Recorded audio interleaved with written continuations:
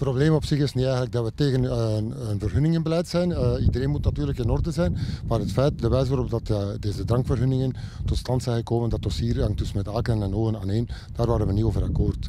Dus we stelden vast in de pers dat de Scheef van Middenstand verklaarde dat er dus een vrijstelling zou komen voor verenigingen. Bij nazicht van het dossier blijkt uiteraard dat daar absoluut geen sprake van dat is een tegenstrijdigheid waar we de schepen op gewezen hebben. Plus nog een aantal andere zaken die we vaststellen in het dossier. Een dossier van amper vier bladzijden. Uh, ik heb er ook op gehamerd. Ja, kijk, er is geen advies gevraagd aan de horecauitbaters, nog aan de middenstandsraad. Allee, ik had verwacht dat dat toch minstens in het dossier zou zitten. Uh, vandaar dat op het kijk, uh, gevraagd, stelt het dossier uit. er zijn deze gemeente had 14 dossiers uitgesteld. Dat toont genoeg aan dat er toch hier en daar nog werk aan de winkel is in de administratie. Duidelijke reglementen voor cafés. Ten eerste gaat het niet alleen over cafés, volgens mij gaat het over drankgelegenheden. En dus om duidelijk te zijn, zo staat in het reglement.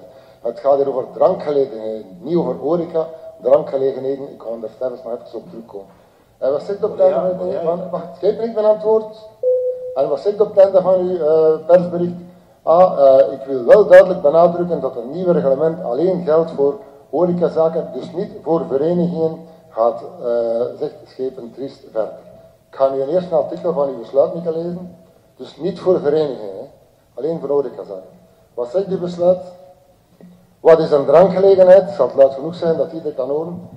Elke publieke toegankelijke inrichting of plaats, zelfs als je in een wc drank zou schenken, bij maar even spreken, of lokaliteit, waar drank, ongeacht de aard ervan, voor gebruik ter plaatse wordt verkocht en verstrekt. Zelfs gratis.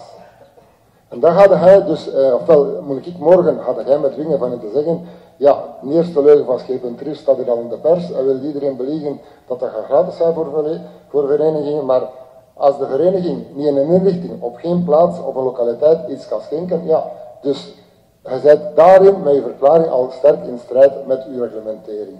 Dus vandaar, dat is mijn eerste vraag om uw dossier uit te stellen. Waarom? Ik heb er geen probleem mee dat zoals in andere um, evenementen bijvoorbeeld, een aantal vrijstellingen besproken wordt tot daartoe om te zeggen, oké, daar moeten we misschien iets soepelder zijn.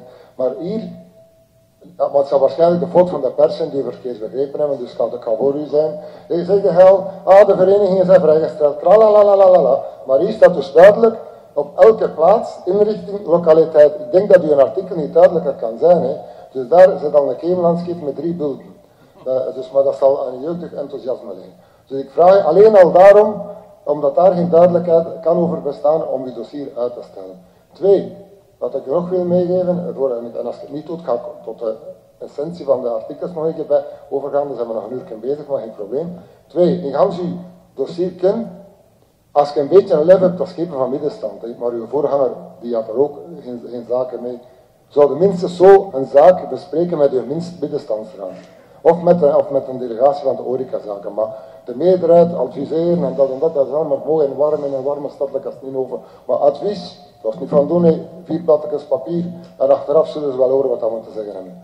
Dus gebruik die verstandsgeven, als je van de eerste keer niet in het vuil wilt vallen, stelt dit reglement uit omdat je één in de pers je eigen tegen spreekt, twee, omdat je dus toch best soort uh, rekening houden met je middenveld, waar je toch uh, voor verantwoordelijk gesteld bent, of anders stelt je bevoegdheid van middenstand van de eerste keer aan iemand anders ter beschikking, want je er van de eerste keer een boel van ontmaken, maar dat zal te maken hebben, ja, je weet zelf hoe dat komt. Hè. Kon niet rap genoeg zijn, waarschijnlijk moest er vandaag van de schip van middenstand er toch een agendapunt op staan, een straf agendapunt van vier bladzijden, waar dat dus niks achter zit en waar dat er dus met niemand uh, advies of hiërarchie rekening houden is.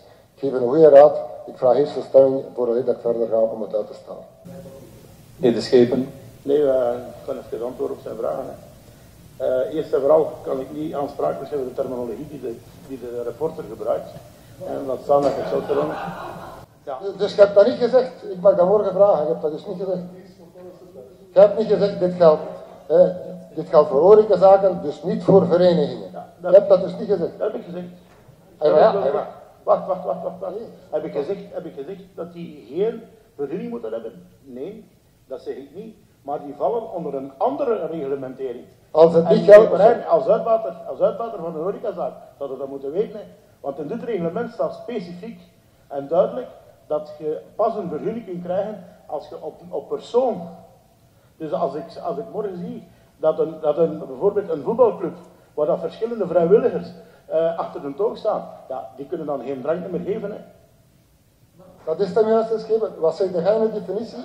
Een drankgelegenheid is elk publiek toegankelijke inrichting of plaats of lokaliteit.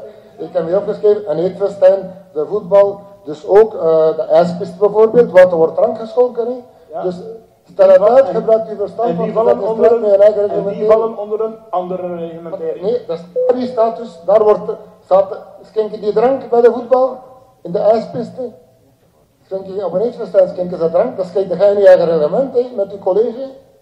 Dus vallen ze eronder. Hè. Dan, dan de rest, dan voor de rest uw aantijgingen over uh, de profileringsdrank, allee, ik kan die maar van één persoon leren, denk ik. Uh, dat is een dossier dat hier eigenlijk al maanden in voorbereiding ligt. Ja, toch. Niet, niet onderbreken alstublieft, meneer Dazelier. Niet onderbreken. Toch is zo, de administratie heeft er heel veel werk aan gehad.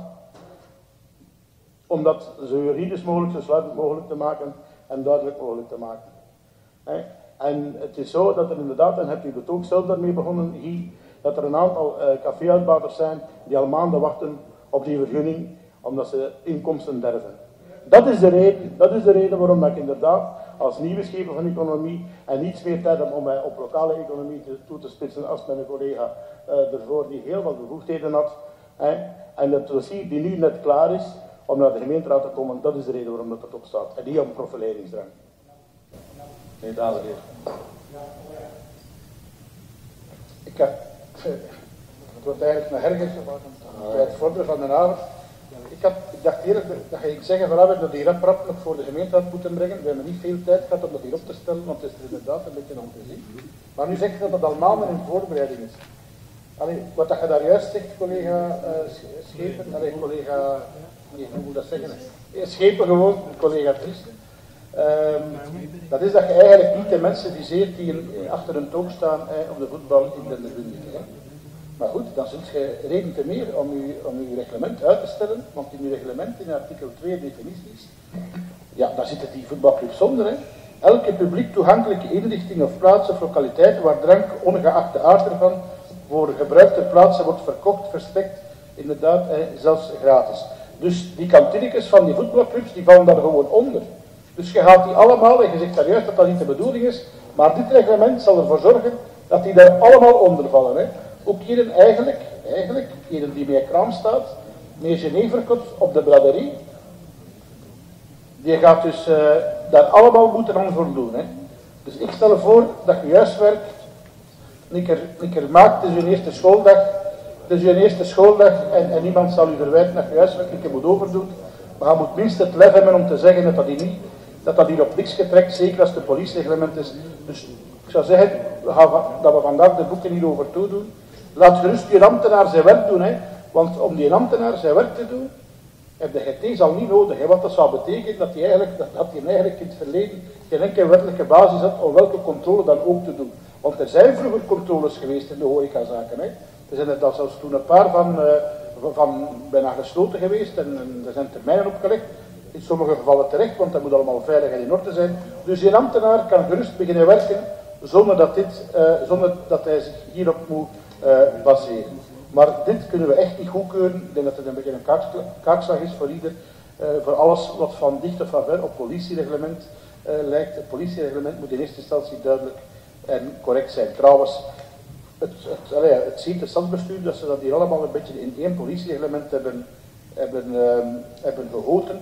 Maar het zou het stadsbestuur ook zien, indien ze een werk zou maken van een gecoördineerd politiereglement. Ik vraag al twee jaar, ik vraag al twee jaar naar een gecoördineerd politiereglement, waar dat eigenlijk alle reglementen, alle politiereglementen afzonderlijk, worden in gebundeld zijn.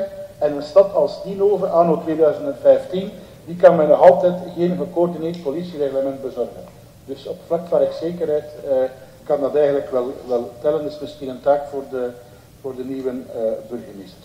Dus ons voorstel blijft om de zaak uit te stellen en, uh, en alles op punt te zetten. Ja, kijk collega's, uh, zien dat er zo in discussies over het al dan niet uh, uitsluiten van een aantal dingen. Stel ik voor dat ik het inderdaad met een maand uitstel, dit reglement, en dat we expliciet in het reglement schrijven welke, er niet, welke categorie er niet behoort tot dit reglement, zodat er duidelijkheid is over alle zaken en alle andere begrippen. Ja. Uh, luister, het is heel positief bedoeld hoor. Ik kan je alleen maar aanraden of vragen van één, van dat dossier, dat moet niet, niet in een hurry de zes maanden nu of drie maanden gedaan zijn. Het is al jaren zo. Uh, er zijn mensen die al uitbaten met of zonder vergunning, dat is dan oké, okay, voorlopig ook nog zo, maar er gaat ervoor niemand nalaten van de veiligheid van zijn zaken in het gedrag te brengen. Maar alsjeblieft, ik vraag je alleen maar overleg met de mensen van de horeca, overleg met uw middenstandsraad en uw diensten en schenk klare wijn, zodat voor iedereen duidelijk is. Dat is eigenlijk onze vraag. Digitaal en vanuit het centrum van Ninov. Ninos Media en Ninos Succes Radio. Vanaf nu één geheel. Één geheel. Ninov Media is het regionale nieuwsmedium voor Ninove en de Denderstreek.